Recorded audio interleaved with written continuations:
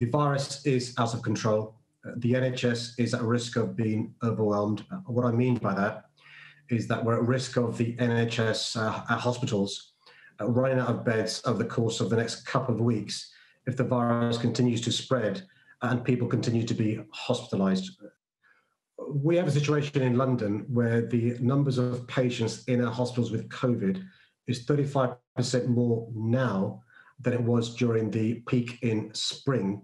Yet the restrictions in London are, less serious now than they were in spring. So we've seen a 30% increase in general and acute admissions uh, over the course of uh, the last week. And we've seen a 47% increase of those who require a ventilator. Think about ICUs or high dependency uh, units.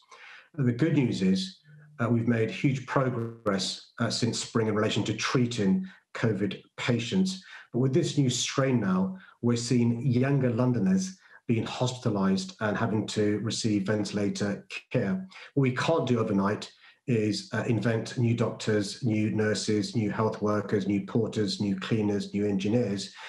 It's the same number of staff working incredibly hard. And, and say this I speak to NHS staff on a daily basis, often more than once a day.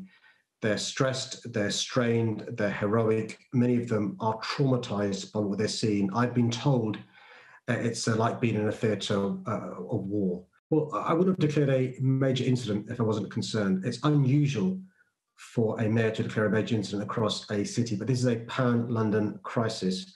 What's unprecedented is the duration of this crisis. Uh, Grenfell Tower was awful. Uh, terrorist attacks in previous uh, years have been awful, but they've been relatively short incidents compared to this awful pandemic. And what I think we're seeing is a combination of these uh, additional pressures placed on every single part of uh, our society in London, whether it's hospitals, whether it's the ambulance service, whether it's the fire service, the police service, care homes, or those who would normally be going to work and be con- contributing to our economy. It's really important we all understand this is serious. It's the most serious it's been. And unless we reduce the virus spreading, the NHS will run out of beds.